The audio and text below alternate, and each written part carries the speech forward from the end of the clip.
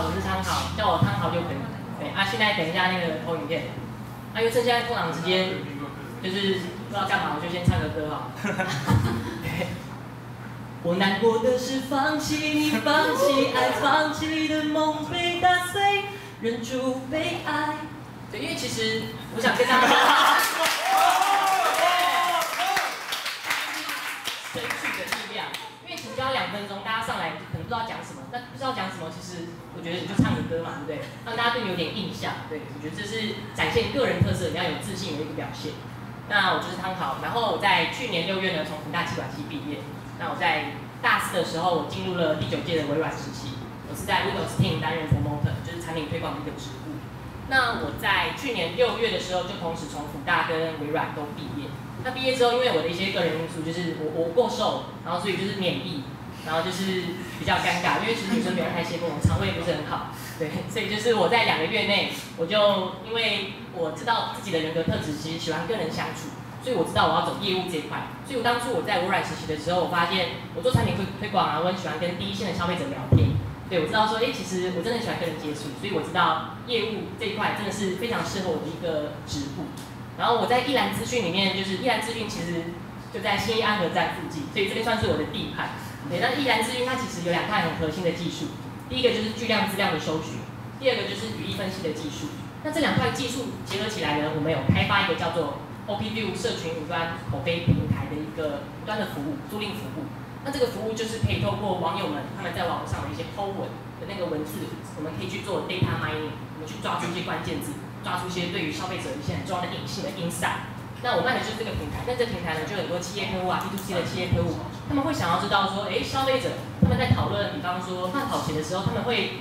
想到是哪一个品牌，这是一个新战力的问题。那我们就发现，哎，其实像是以慢跑鞋来讲，其实很多消费者都会提到 Nike。那像是信金融产业，比方说，哎，民众他们在办信用卡，他们最重视什么东西？那我们发现，原原来是电影的优惠。那其实很多我们的那个客户呢，他们。买我们的这个租赁我们的这个云端口碑平台，他们最希望的就是能够绑架你们消费者口中的那个四位小朋友，对，所以其实我卖的就是这个云端的服务。那我一开始进去呢，其实我是做业务。那我们公司除了刚刚我提到那两那两那两项技术非常厉害之外呢，我们公司帮我们挂开头的那个技术也很厉害，对，因为其实我是业务，但他们挂了一个行销分析师，听起来很有质感的开头，对。然后后来在今年四月还帮我挂上主任的开头，那因为其实我前两个月还蛮享受，就是因为。呃，行销分析师跟主任，我们有两张名片，那就是，呃，我在换新名片的时候，我就第一个朋我朋友说，哎，你好，就是我在业来咨询，然后别人看到我就说，哎，主任你超屌，那就话，我就前两个月很享受这样的一个头衔，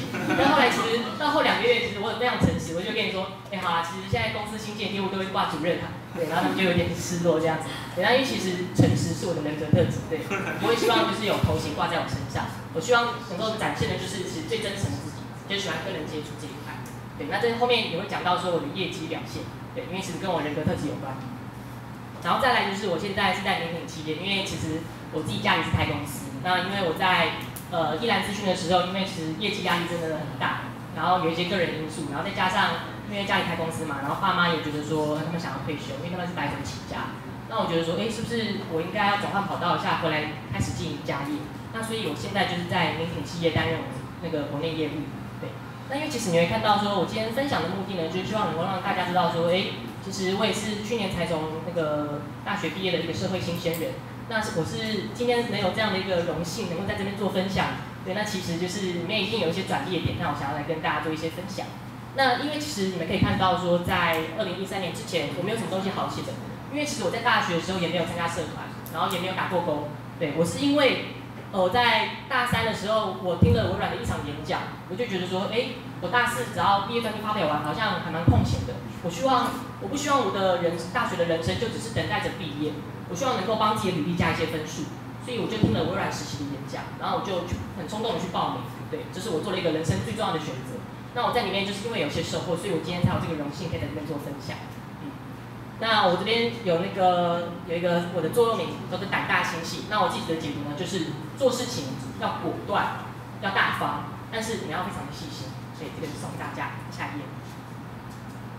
那其实我这边有个价值观可以跟大家分享，人生就是一连串的选择。那我这边分享两个我听过很棒的选择给大家。我在那个福大的学妹，他在脸书有 po 篇文章，就是他送给他自己的二十岁的生日礼物，就是选择签下了器官捐赠的同意书。哎，那我就想说，哎，原来二十岁你做了这个决定，你掌握了你身体的自主权，然后你还遗爱人间，那个回馈回馈他人，就是我觉得，哎，这个选择其实非常棒。然后第二个选择就是最近是最近的新闻，就是那个苹果的执行长库克，他选择公开承认他是同志的身份，然后他还说了一段我觉得非常赞赏的话，他说，如果身为一个苹果的执行长，公开出柜。能够帮助那些在出柜与否之间挣扎的人们，或者是能够带给那些寂寞的人们好受一些，那这值得用我的隐私来做交换。哎，我觉得超有 guts。对，虽然我不是 gay，但是我认同他这个价值。OK，好。那我只想要告诉大家，人生是一连串的选择，就是你选择了什么，就代表你会过怎样的人生。好，那像今天，其实我也觉得你们。就是在一个那个黄金的周末，你们没有选择跟朋友吃饭，没有跟家人聚餐，你们来这边听了焦点的分享，那其实我觉得你们也做了一个非常正确的选择。所以今天我也会用我真心的分享来跟大家做交换，OK？那不要忘记十一月二十九号，你们也要做出你们非常正确的选择，OK？那那投谁就是心照不宣，OK？好，那我做了什么选择呢？下一页，在。我做的选择就是大学毕旅跟录取率只有三趴的微软实习，我要选哪一个？那我先稍微简单的说明一下，大学毕旅是在二零一二年的六月中有预计要举行，然后那个时候因为我在那个微软实习这边知道说二零一二年的六月要进行一些职务上的交接，但实际上其实微软实习他们在二零一二年三月已经开始做投履历，然后跟三阶段面试的甄选的一个阶段。所以其实我那个时候已经想到说啊，六月中可能会卡到这两个，所以我只能选择其中一个。那我今天就要问各位，如果我今天换作是你，你会选择要去大学毕旅还是去微软实习？会选择大学毕旅的举手。哎，很好，我欣赏你这种人，对，因为其实你会去大学毕旅，而且你会干嘛？你会敢表达你真实的想法，代表说，哎，其实你是一个重视友情的人，对，而且你是懂得及时享乐。那会选择去微软实习的举手。其实去澳美也可以，好不好？好，那我今天再问大，我再问大家一个问题：你今天如果你去选择了要去微软实习，我要问你第一个问题。第一个问题就是，你觉得你有什么能力可以进得了录取率只有三 percent 的微软实习？第二个问题就是，那如果没上呢？没上就两头空哎，你毕业就没有玩到，然后你实习也没有，然后你会对你的人生非常的、非常的呃没有方向。那这个时候没有什么后备之路。那这个时候，当我面临这两个选择，其实我现在想起来，当初有点莽撞，因为那个时候我告诉自己，我非上不可。那我采取了这样的一个决心之后，其实我采取非常多的行动，就是其实我在整个准备面试履历的时候，其实我是用一个很创意的履历来包装自己。所以那个时候面试我的人资主管，他在第一、第二阶段他就已经决定要录取我。所以在第三阶段的时候，其实虽然我表现有点失常。对我本来表现有点夸张，然后主管们不是很喜欢，但是他们最后还是录取了我，是因为我遇到了那个人资主管，他真的是我的贵人，这样子，然后才会造就我今天能够在这边站在这边跟大家做一个分享。对，好，那这个时候，我现在想起来这个赌注实在是非常的大，所以这是我人生中做过最重要的一个选择，就是进入微软实习。那这个时候我就要问大家，你们的人生中有没有赌过这一把？这样子，对，这你们可以好好的思考一下。好，下一页。那这个就是因为其实实习不会是我今天的重点，我今天重点只是讲，也只是因为微软实习它真的改变了我在整个人生的一个成长过程，对，它只是一个过程，不会是我最后的结果，所以我这边还是简单的带过一下。那我在实习里面最重要的得到了三个收获，我先简单的定义一下实习生，其实实习生就是在做正职的事情，可是你们是公读生的钱，那对对我觉得是实话，但是今天问题就是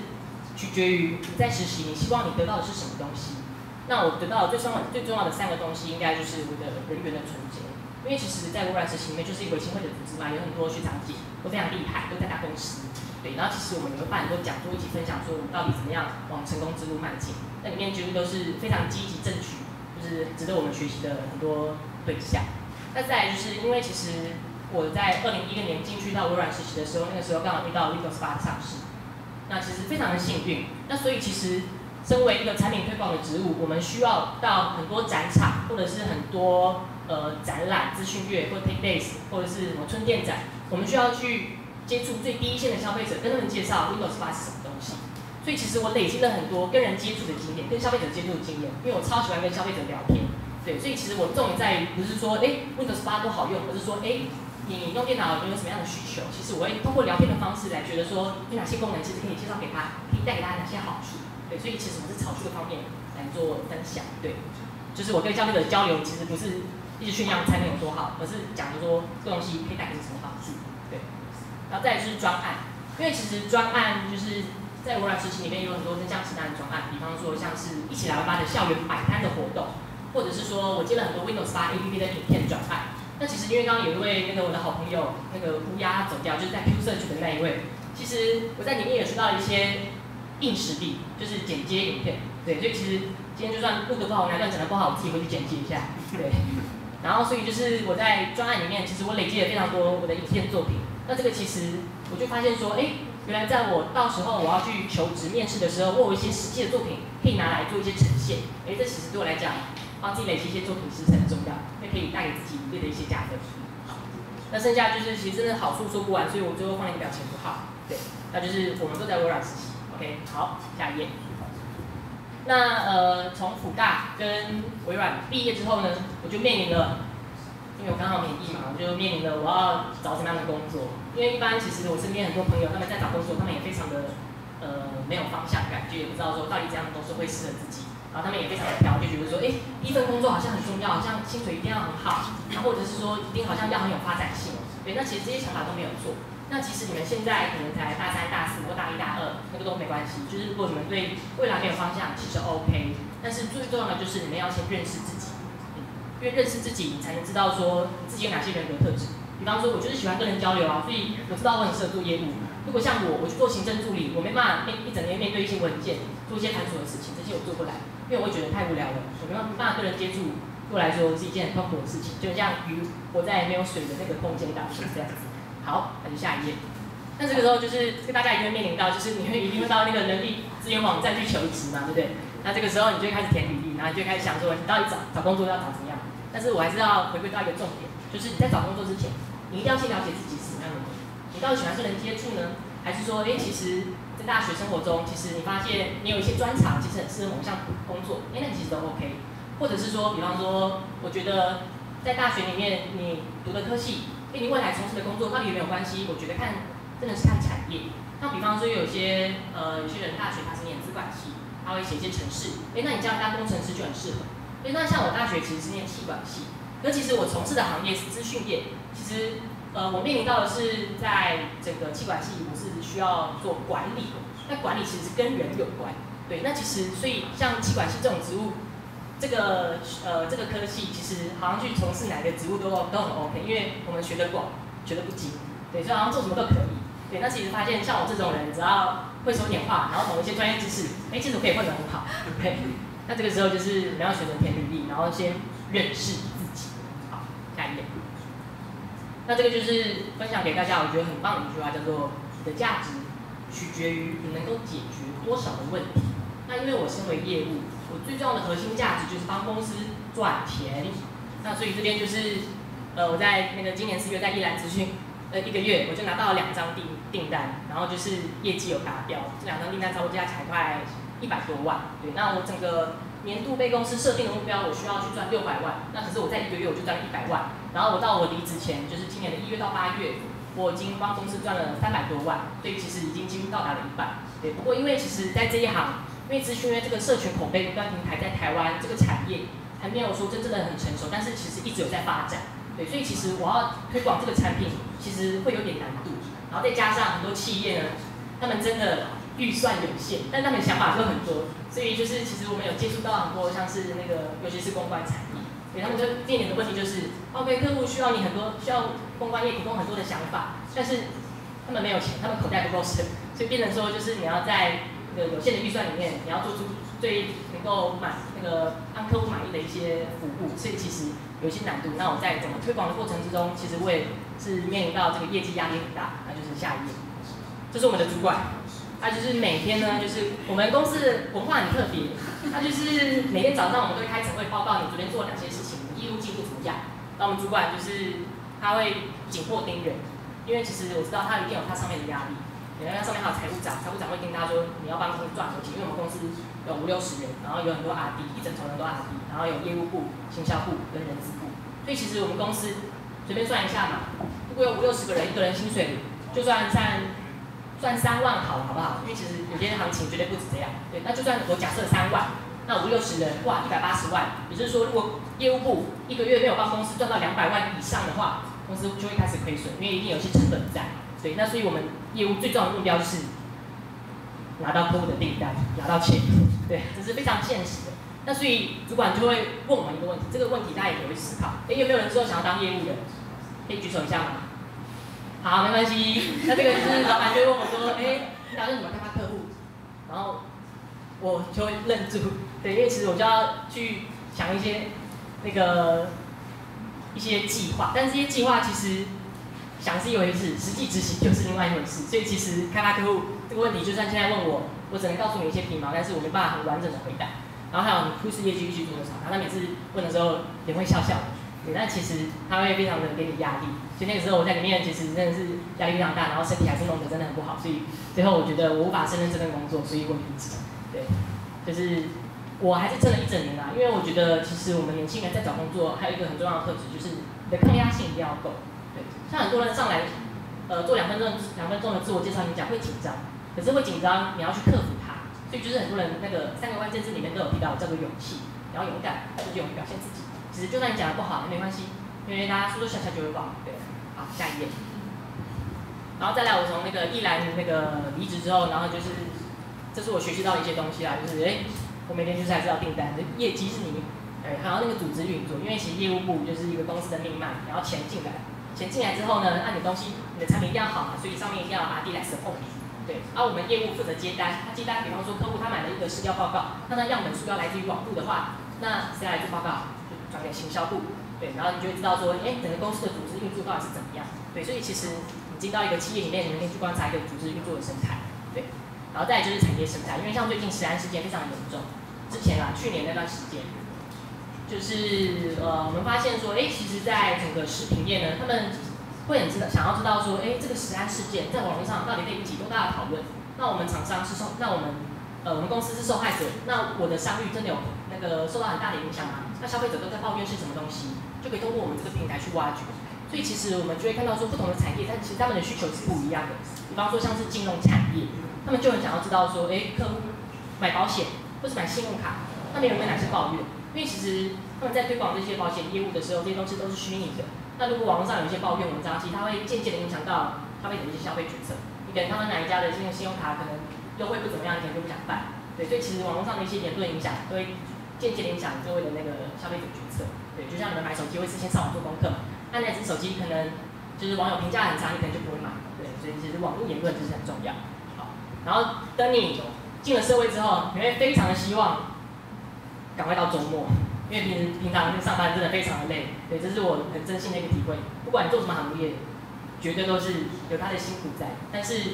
你的收获就是你希望能够拿到钱嘛，然后再来就是你希望你将来，呃，再过了三四年，你能够在这产业怎么样的发展？对，其实你们都可以去思考一下。好，然后这就是我们身为一个业务，就是除了业绩还是业绩，拜托客户快下订单，对不对？下业。那其实呃，我从微软实习嘛，从外商到本土，然后再回来经营家业，我的身份其实转变很快。在两年之内呢，我就从学生变实习生，然后又变成呃别人的员工，又变成自己家的员工。那可能之后又变总经理。对，就是其实听起来好像哇，他好厉害，是小开。因为他其实其实际上不是这样。对对对。那其实因为家家族企业，我们是家族企业，就是我爸是总经理，我哥是采购，那我是国内业务，所以就是。呃，有个状况很好玩，就是在我们办公室喊，哎，汤先生，我们三个人都会回头这样，对，或者说客户打电话来，喂，妈妈找汤先生，然后如果是我接的，我就会稍微逗取一下，我说，哎，你要找老的、帅的还是矮的？然后有些客户就会比较顽皮，他说我想找帅的，那我就会说，就是我。之类的，因为其实，哎，这个话不是乱讲，我只是想要看一下，哎，这个打过来的采购呢，他到底是怎样的个性？因为如果可以接受开玩笑的，可能他在做事情上面会有一些忍耐度。所以其实我会用话语之间来分析这个人的个性，对，这是其实也是我在跟人际接触之间我会去发现的一些小细节。OK，好，下一页。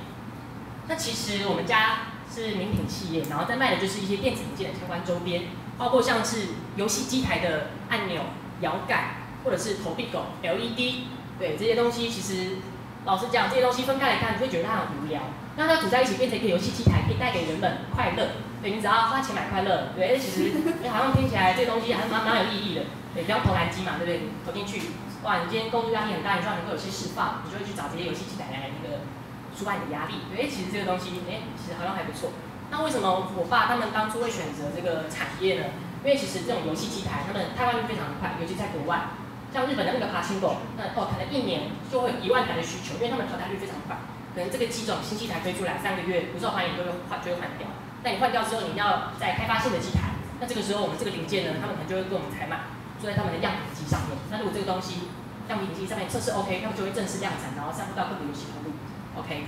那这个时候呢，我从原本的别人的员工变成自己家的员工，我就发现员工都准时下班。我们家真的是那个替补企业，早上九点上班，然后晚上五点半就可以下班，哎，员工都非常准时，绝对不会超过五。多留五分钟这样子，对。那像我们自己，其实我很常加班，因为我常加班到六六七点这样子。因为我觉得说这是我自己的事业，我只要帮公司赚到订单，就是帮我自己赚到钱。对，我就不会说，哎，我好像在别的公司，我再怎么辛苦都是公司的钱啊。对我现在心态其实会转换，会从我我原本是一个受雇者，变成我今天自己是主管。我觉得我心态有转换，就是变成你会从一个经营者的角度去想说，哎，为什么为什么以前主管要跟我这么紧？其实是因为他背后一定有些考量，一定都是钱上面的考量。如果公司你不能去做，你就会亏钱。你亏钱的话，你就没办法付付给员工的薪水，那整个公司的营运就会有问题。然后再来就是我们这个，因为是小公司，我们只有九个人，然后就是我们做的事情就非常的杂。因为其实大公司他们分工非常精细，像我以前在一兰，我只要负责拿订单，其他那个开发或做报告都不关我的事。但现在呢，我回到了我们自己家，就是我们做不完做不完的事情。就变成说，呃，我从接订单啊，然后到处理那个货品的料好，因为我们家像杂货店，什么东西都有卖，对，然后东西就要自己建料好，建完料好，我要自己去仓库询下，说到底有哪些东西我们要出货，然后打出货单，然后有一些很多的流程，这个事情做不完，因为这是小公司的一些弊病，但是没办法，可以培养我们一些个人能力，对，所以如果你觉得的个人能力很强，那你可以接到小公司来体验一下。那如果觉得你可以专心的，只能专心做某一件事情，你可以到大公司，因为大公司通常分心那个。那个职务上的那个分配都会比较精细，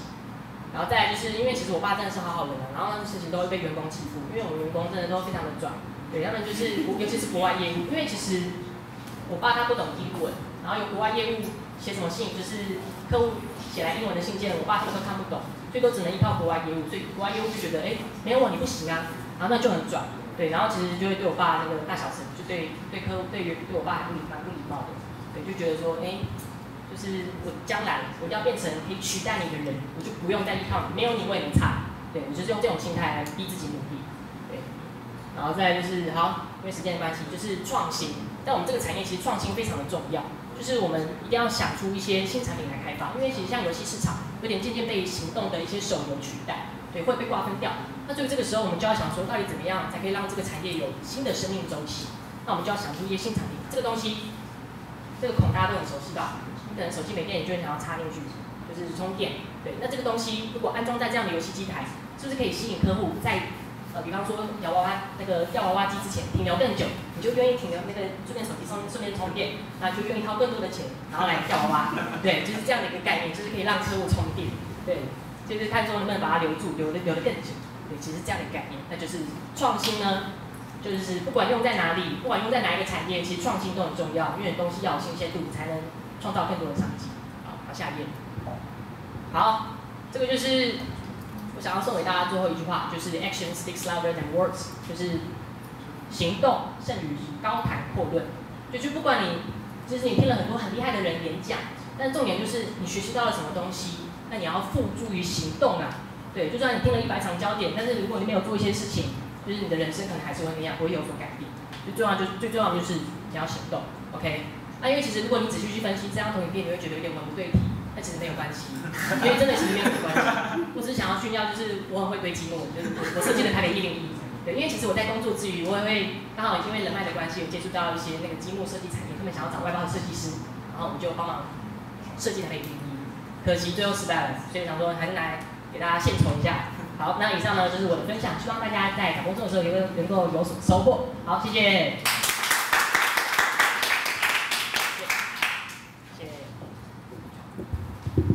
谢谢谢江豪带来的分享。我觉得在他的职场体验中，大家可能每个人听到的重点不太一样。那我个人是觉得他提到一点是站在客户的角度来帮他思考，我觉得这一点是非常重要。不管是工作也好，或是与人交谈也好，或是做朋友等等都好，我觉得最重要是需要说，我们要知道对方在想什么，而不是一昧的只是觉得我好像我对你好，所以你应该知道我很好这种概念。就是我们应该好好的去思考说别人真正要的是什么，然后我们才能够给予他需要的服务啊，或者等等之类的。所以我觉得这种这种观念呢，在焦点，如果你常常跟新朋友认识到，其实我觉得可以在焦点多多学习这样子的想法。那接下来下一位呢，是我们的娟。